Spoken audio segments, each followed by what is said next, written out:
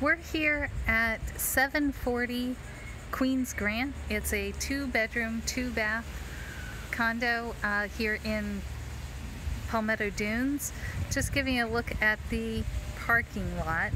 The beach is out this way and, and down. It's probably about a 10 minute walk, um, maybe a smidge shorter, but let's say about a 10, 10 minute walk. And um, these are, are little clusters of, of villas.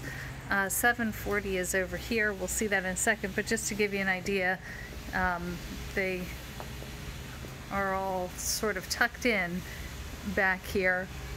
And um, and so they're they're a, little bit different look and feel compared to to some, but they they can be very cute. So let's go on into this one into 740. Come into stone floors. Threshold there that my foot got caught on. This is about it's about a thousand square feet, so it's not real real big, um, but it has a nice kitchen.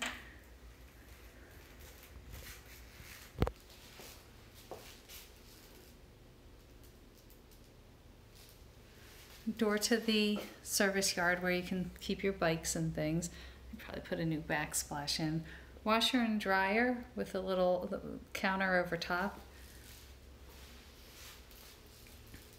They've tried to add a little depth. That is actually a mirror reflecting back. But the living space is, is nice. You have one bedroom here that they have set up as bunks.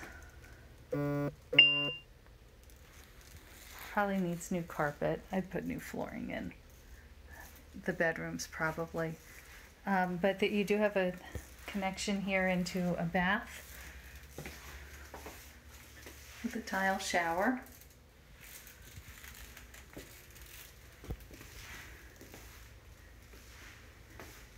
Take my shoes off, they're making noise. the vaulted ceilings that we see in, in the Queens Grant properties.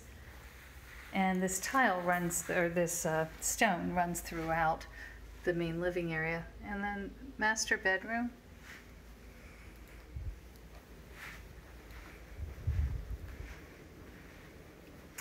And master bath. A lot of these that are this size are only one bath. I think they took, uh, they did some modifications maybe to add the second bath, which is nice to have the two two full baths. It needs a little fluffing up, but it it's not it's not bad. And then out here, you have a a private private patio. Right over here. And then this goes out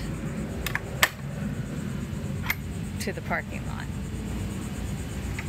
So some of these will have um, patios that, that are not that, that are ba- back up that are a little bit more open, but they've they've made this cute a cute little space out here, and um, yeah.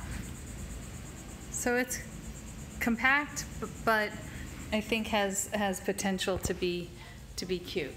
Um, the roofs back here, I think, I think some of them were, were redone in the recent years. And we'd have to take a look at the seller's disclosure to see exactly what, um, how old the, the HVAC is and things like that. But here, here's a look back, and uh, I hope this helps.